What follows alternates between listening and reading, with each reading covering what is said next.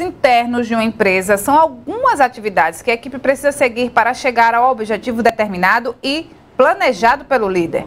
O consultor em gestão de negócios Alisson Hildegard explica como elaborar esses processos na coluna Carreira e Valor de hoje. Super Alisson, bom dia para você. Então, né? Como definir os processos internos para que a empresa tenha sucesso? Que, que, assim, eu entendi, mas o negócio são processos internos. É o que a gente deve fazer para o negócio dar certo, né? Perfeitamente, Renata. Bom dia, a todos. Né? Iniciando mais uma coluna, carreira e valor. E assim, ó, na semana passada eu falei sobre como o empresário pode tirar férias do seu negócio sem que ele pare, né? Sem que a empresa pare. Né? E, na verdade, um dos maiores desafios para quem está começando é se desligar do negócio e poder, sim, tirar seu, seu descanso, fazer uma viagem com a família. Muitas vezes eles ficam até no final de semana né, trabalhando, trabalhando e nunca param. E a partir daí, no episódio da semana passada, eu falei que são seis tópicos importantes. Primeiro é o processo, tá dentro desse processo, liderança. Divide tela aí, super pessoas, Jefferson. Controle, Alisson, tá me vendo aqui? Estou, estou, Pronto, estou. eu vou te ligar porque o áudio não tá legal, tá? Deixa a imagem aí, se você puder, e eu vou ligar para o teu celular, porque as informações do Super Alisson são maravilhosas, então a gente precisa entender tudo direitinho, tá? Vou ligar para ele aqui, para a gente conseguir falar com o Super Alisson, para a gente saber direitinho aí essas orientações, tá? Super Alisson, na linha, plugar, é assim, viu, gente? Rádio ao vivo, a gente faz tudo. Arrocha, Alisson.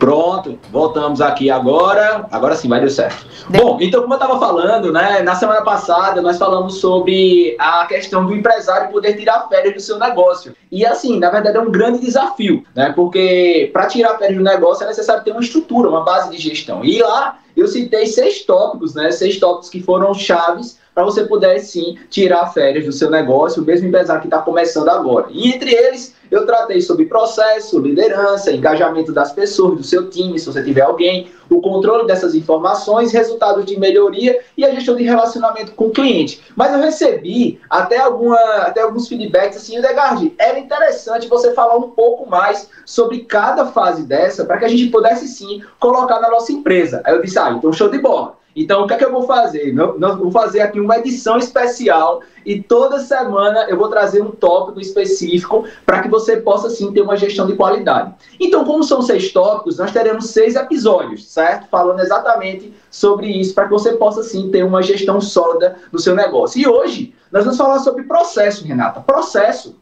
nada mais é do que uma sequência de algo que está estruturado e montado.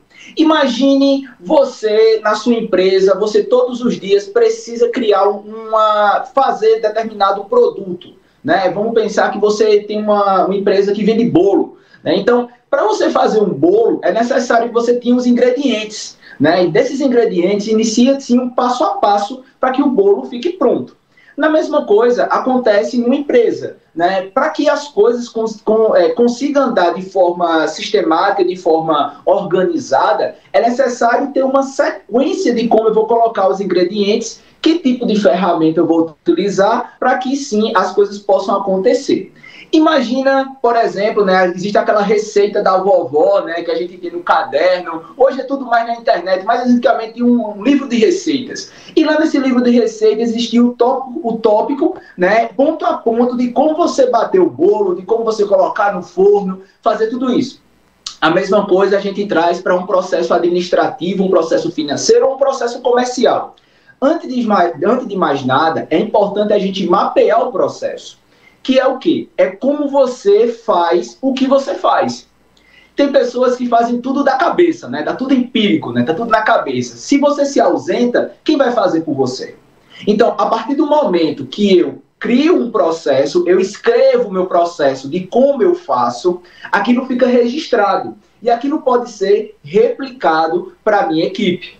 E é a partir daí que eu preciso criar esse processo, mapear, né? Por exemplo, no meu financeiro, né? Como é que eu recebo dinheiro dentro do meu negócio? Para onde vai esse dinheiro? Eu deposito numa conta, fica dentro de um cofre, eu pego esse dinheiro, eu faço o que com ele? Eu utilizo como caixa?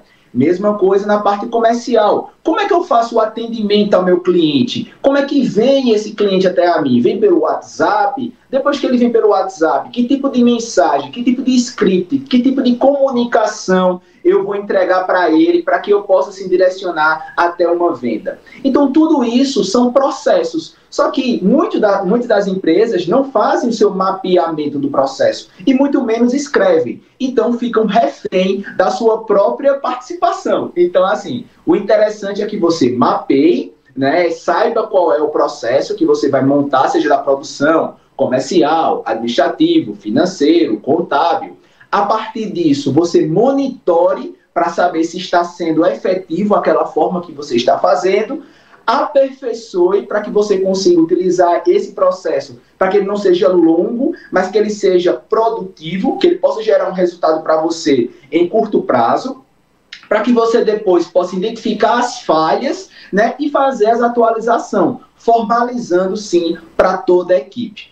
Todo mundo busca uma ferramenta para o negócio. E Degard, eu quero um software para colocar no meu negócio. Meus clientes, muitos deles até falam isso. eu quero um software para ter meus dados, para que eu possa ter clareza do meu financeiro. Eu digo, ó, a ferramenta é importante, independente da ferramenta. A ferramenta boa é aquela que funciona para você, eu digo muito isso. Não é a ferramenta de um milhão de dólares ou, ou de mil reais. Não é essa a questão, é a, é a ferramenta que funciona para você. Mas para aplicar uma ferramenta, é necessário que eu tenha um processo. Como é que eu vou utilizar uma, bata, uma, uma ba batedeira, né? Batedeira de, de bolo, se eu não sei como é, é em que fase ela vai ser utilizada. Como é que eu vou utilizar a temperatura de um forno se eu não sei como ela vai ser utilizada? A mesma coisa é um software. Como é que eu vou utilizar um software de forma eficaz se eu não tenho um processo definido?